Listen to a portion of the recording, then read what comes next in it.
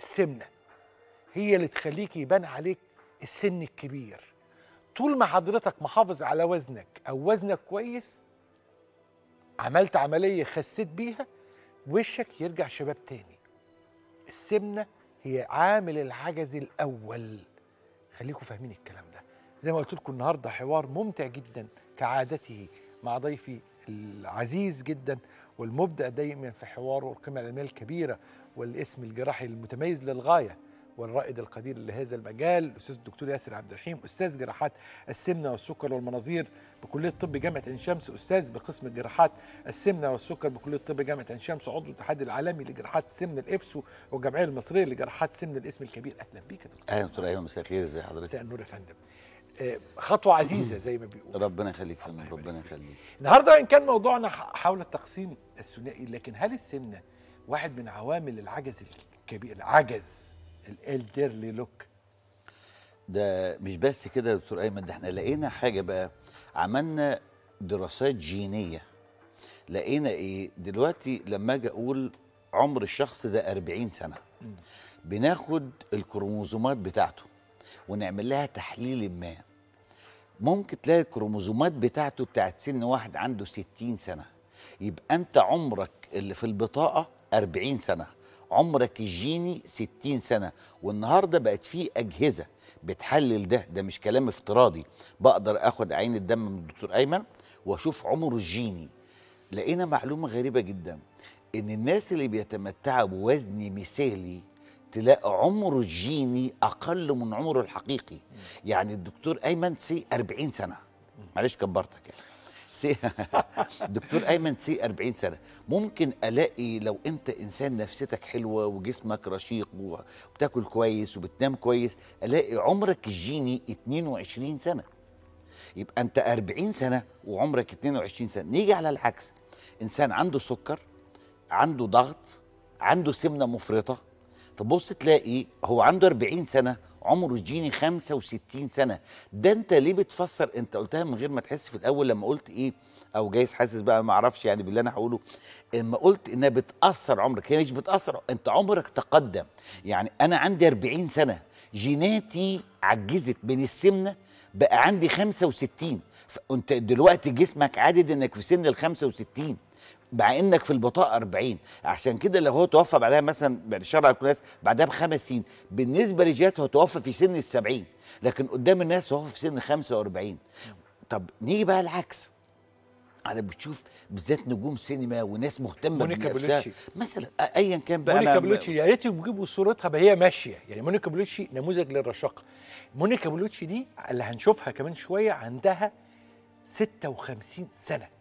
لا الناس لما تتخيل إن ست دي اللي هنشوفوها دلوقتي عندها 56 سنة ده شيء مذهل. جميل. هو ده اللي أنت بتقوله بالنص. يقول لك 56 لكن شكلها 35 آه. ليه بقى؟ أنت لو عمل ده ده بقى كنا بنقول الأول كأنها هزار. لا يا فندم أنت اعمل لها العمر الجيني. خد عينة دم منها هتلاقي عمرها الجيني 35 سنة. يبقى هي عمرها في البطاقة 56 سنة. اللوك والمنظر بتاعها قدامنا 35 سنة وده حقيقة علمية. عشان كده هي لما توصل مثلا سن ال 80 هيبقى عندها 50 سنة أصلا. وده اللي يفسر لك ليه بتلاقي الناس الرشيقة اللي بتنام كويس اللي نفسيتها كويسة اللي, اللي, اللي, ما عندهاش أحقاد اللي الناس اللي آه بتكلم جد. الناس الجميل جميل من جوه ومن بره وبتاكل كويس وبتنام كويس وبتشرب سوائل كويس وبتمارس رياضة كويس. تلاقي يقول لك إيه عنده 80 سنة و- وبقى متمتع بصحة كويس. وده اللي يفسر لك ليه يا دكتور دي أيمن؟ مونيكا بلوتشي هذه المرأة عندها 57 سنة. لا لا لا. اتفضل. طيب 57 بالظبط. دي لو انت خدت لها عينه دم هتلاقي عمرها الجيني 35 أو 37 كما تبدو. فده مش ظرف. اذا السمنه والسكر اللي هم زي ما إحنا سميناهم قبل كده توأم الشر بيعملوا 52 مرض منهم كلمة مكتوبة إيه بقى اللي انت قلتها؟ premature senility مكتوبة كده. آه. premature senility أي عجز قبل الأوان باللغة شيخوخه. مبكرة. شيخوخة مبكرة. أو باللغة البلدي عجز قبل الأوان. وثنائي التقسيم أو ال bipartition أو يعني اختلف أو SASI تمام. operation إيه الفكرة العلمية؟ وليه هي دايما في دلوقتي الأوساط العلمية يقولوا عملية واعدة عملية ذات نتائج جيدة العملية محبوبة. في الأوساط الطبية والجراحية لها قابلية وشعبية وسط الأطباء. تمام واتناقشت في آخر مؤتمر للافسو كانت موجودة والجمعية المصرية لجراحات السمنة برضو كانت موجودة في آخر مؤتمر لها. هذه العملية يا دكتور أيمن هو سحرها بيجي منين؟ منها جمعت أفكار عمليات التكميم وتحويل المسار معا. فأخذت مميزات الاثنين مع بعض. لو جبنا الصورة بتاعتها هي فكرة التكميم إيه؟ إحنا بنخش طبعا جراحاتنا دلوقتي ما عادش في جراحة مفتوحة بنعملها جراحات بالمنظار. بنخش بنشيل 70 ل 80% من المعدة. يبقى ده الجزء بتاع المعدة اللي شلناه. بعد ده اسمها تكميم. بعد كده جبنا الأمعاء الأمعاء بتاعتنا طولها 6 متر وصلنا الأمعاء على بعد 2 متر. أنا نجيب الصورة اللي فاتت. وصلنا الأمعاء على بعد 2 متر بالمعدة المكممة. يبقى هنا استفدت إيه؟ يبقى أنا عندي حاجتين. عندي التكميم اللي هي تصغير المعدة الجزء اللي فوق والوصلة اللي عليها الأسهم الخضراء الثلاثه اللي تحت دي على بعد 2 متر من بداية الأمعاء. عشان كده تسمى الساسي أو الساسو أو أو أو أو تحويل مع تحويل تكميم مع تحويل مسار ثنائي التقسيم. العملية السحريه في إيه؟ عملت حاجتين.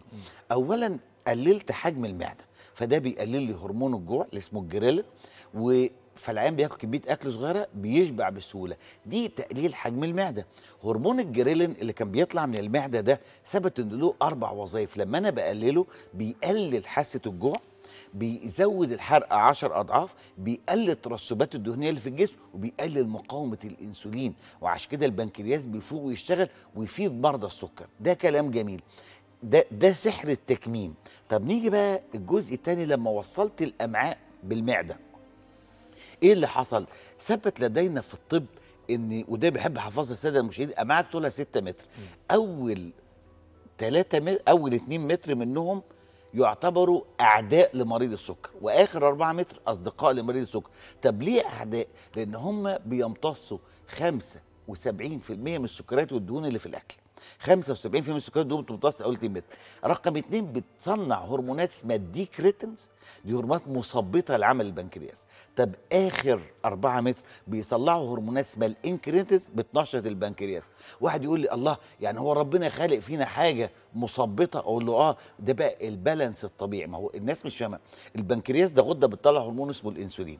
البنكرياس ده لو اشتغل قليل يجي لك السكر. طب لو اشتغل جامد يوطي لك السكر. الناس مش فاهمة ده. يعني لو طلع أورام من البنكرياس بتزود الإنسولين دي. اخطر طبعا إنسولينوما بتبقى أخطر على حياه المريض.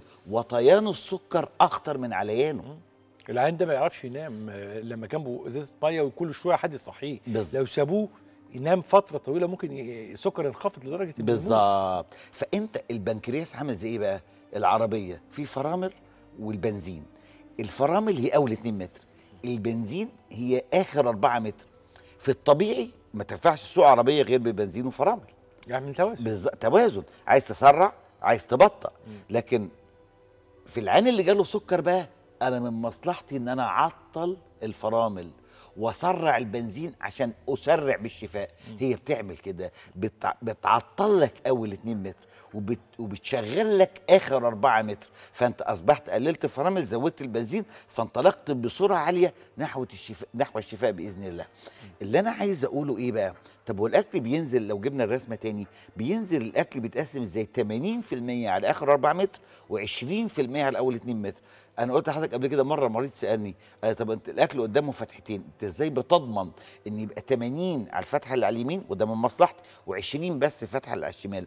بضمنها إزاي؟ إن الفتحة اللي على اليمين بتبقى أكبر وأوطى الفتحة اللي على الشمال أعلى وأوسع آه، أعلى وأضيق. فالفتحة الطبيعية بتاعت ربنا اللي على الاثنى عشر بتبقى أعلى وأضيق وعليها عضلة اسمها سفنكتر أو صمام. التانية أوسع وأوطى ومفيش عليها صمام. فمنطقي إن الأكل ينزل على الفتحة الأوسع. عشان يشغل لي آخر 4 متر. وقلل وصول الاكل أول 2 متر. طب دي بتستفيد إيه؟ إن أنا أحدثت ثورة هرمونية في الجهاز الهضمي. قللت الهرمونات الضارة قللت امتصاص السكريات والدهون وعليت الهرمونات النافعة. دي ميزة. الميزة الثانية إن التكميم ما بتوسعش مع الوقت. ليه؟ لأنك موصلها على الأمعاء فالضغط جواها واطي. يعني مشكلة عملية التكميم إن أحيانا الضغط جواها عالي. لا أنا وطيت الضغط جواها. الفايدة العظيمة من الله تبارك وتعالى في هذه العملية إن إحنا ما لغيناش أي جزء من جهازك الهضمي. أقدر العيان ده أخش بمنظار أخش زي ما أنت حضرتك عارف بقى اساتذه البطنة تخش تشوف المعدة وتخش على الاثنى عشر وتخش على الأمعاء. لو في حصوة في القنوات المرئية ممكن تجيبها. فهي عملية ما غيرتش في الوضع التشريحي الرباني للمريض. هتقمص شخصية مريض مثقف شوية ومريض تاني بيتفرج علينا بحب شوية. وهسألك سؤالين. تمام؟ اتفضل. السؤال الأولاني اللي بتاع المريض المثقف شوية. اتفرج علينا وصايع يعني حبتين. يقول لك إيه؟ يقول لك إيه؟ باشا سنة تقسيم عملية على رأسي. لكن تفرق إيه يعني عن تحويل المسار؟ أنا حاسس إنها يعني صورة طبق الأصل تقريبا من تحويل المسار. قريبة منها جدا. نفس ال precaution. فيتامين هاخد فيتامين. malabsorption مفيدة للسكر. طب ما الثانية مفيدة للسكر. عام يعني زي ما آه، غسلنا الماء بالماء يعني ما فيش حاجة جديدة. ده العيان المثقف اللي فيه سنة فهم شوية. جميل ده كلام رائع. تاني. عيان طيب بيسأل على الحملة القومية مستمرة ولا مش مستمرة؟ عشان الظروف بقت صعبة. تمام بالظبط. هنرد على الاثنين ال- المريض الأولاني لو بصينا لو لو نقدر نجيب الصورة بتاعه تحويل المسار وبتاعة ثنائي التقسيم جنب بعض يبقى حاجة رائعة جدا لو حطيناهم جنب بعض. في عملية تحويل المسار آه إحنا بنصغر المعدة برضه. جميل. وبنوصلها بالامعاء برضه تمام. بس أنا في تحويل المسار بقفل اول 2 متر تماما. اول 2 متر من الامعاء ما ينفعش منظار يوصل لهم وبقفلهم تماما. لو بصينا بالظبط بص يا دكتور ايمن إحنا صغرنا المعدة اللي على يمينكم اللي, تحويل المسار. اللي على اليمين مكتوب تحويل- عليها. مكتوب على تحويل المسار المصغر واللي على الشمال ثنائي التقسيم. لو بصينا كده انت صغرت المعدة وفي نفس الوقت كمان وصلتها بالامعاء. جميل. فالاول 2 متر دول اتعزلوا تماما. ما بقولهمش أي وظيفة. عشان كده تغذية العين بتقل شوية إنك تقريبا لغيت له 2 متر من امعائه هنا أنا مشغل أول 2 متر لكن بكفاءة أقل. طب لو العيان ده جاله حصوة في القناة المرئيه اللي عامل تحويل المسار ما ينفعش أوصل لها عن طريق الفم. لكن هنا أقدر أوصل لها عن طريق الفم. فهنا طبعا الاثنين جمال جدا. مش إحنا لا ننقص من تحويل المسار. وعملية رائعة وعملية ذهبية. ولكن إحنا بنقول الكمال لله فقط. كل واحد فيه ميزة وعيب. دي ميزتها إنها تغذيتك ما بتقلش قوي بتحتاج بفيتامينات يمكن بجرعات أقل شوية. في نفس الوقت هي كل أجزاء الجهاز الهضمي متاحة بالنسبة لك لأن في مرضى ساعات يقول لي إيه دكتور ياسر الجزء يمين المعدة ده اللي اتعزل ده ما أنا أقدر أوصل له إزاي؟ مش هقدر أوصل له. طب بنعمل أشعات مقطعية لو عايزين نوصل له وبنعمل أشعات رنين مغناطيسي ولكن في جزء معزول. هنا ما فيش أجزاء معزولة. وفي نفس الوقت التأثير بتاعهم يكاد يكون متطابق. يعني عملية ثنائي التقسيم نقدر نقولها ببساطة شديدة جدا هي أقرب إلى الوضع التشريحي الرباني اللي خلقه ربنا تبارك وتعالى. حملة قومية. ال- الحملة القومية انت حضرتك بقيت حبيبها جدا أكتر مني لأن فعلا يمكن حضرتك دكتور أيمن أنت إنسان محترم وحاسس. بالناس وبظروفهم.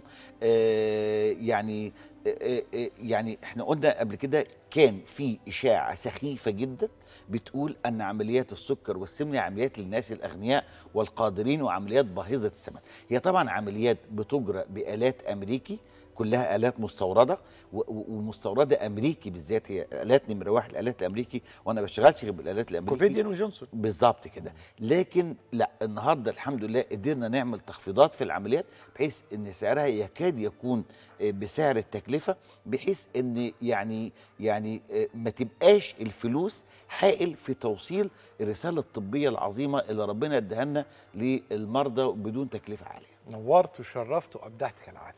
ربنا يخليك دكتور ايمن ببقى سعيد معاك دايما. وعايز بقى الساده المشاهدين يسمعوا كلام مش مني ولا منك من واحد خاض التجربة. الخوض التجربة تعبيراته دائما أدق كثير حتى من التعبيرات عند آه، أذهان الناس. ضيفي العزيز القيمة العلمية الكبيرة والاسم اللامع في عالم جراحات السمنة الأستاذ الدكتور ياسر عبد الرحيم أستاذ جراحات السمنة والسكر والمناظير بكلية الطب جامعة عين شمس الأستاذ بقسم جراحات السمنة والسكر وعضو الاتحادات العالمية والجمعية المصرية لجراحات السمنة كان ضيفي في واحدة من أرقى حلقاتنا على الإطلاق في الناس الحلوة. خليكم مع الناس الحلوة. آه، أنا اسمي أحمد آه، كنت مريض سمنة آه، وبعاني من سمنة مفرطة. آه، وصل وزني ل 150 كيلو. آه، حاولت محاولات كتير جدا إن أعمل دايت أو رياضة الموضوع ما جابش معايا أي نتيجة. آه، والحمد لله بفضل ربنا وبفضل الدكتور ياسر بعد التوجه ليه و- و- و- وإرشادي ونصايحه ليا إن أنا أعمل عملية ثنائي التقسيم عامل العملية النهارده بقالي تقريبا 11 شهر. كان وزني 150 كيلو الحمد لله النهارده وزني وصل ل 90 كيلو أو 89 كيلو. يعني في نزول بمعدل حوالي 65 كيلو. آه، الموضوع فارق معايا جدا. آه، حياتي ابتدت تتغير بشكل كبير جدا. آه، كنتش أحلم الحقيقة إن أنا أنزل ال- ال- ال- الوزن دوت في الفترة ديت. الحمد لله ما بعانيش من أي مضاعفات من العملية ولا أي أضرار خالص. وحياتي بقت مستقرة جدا دلوقتي وبقيت بعرف اعمل حاجات كتير ما بقتش اعرف اعملها أو كنتش بعرف اعملها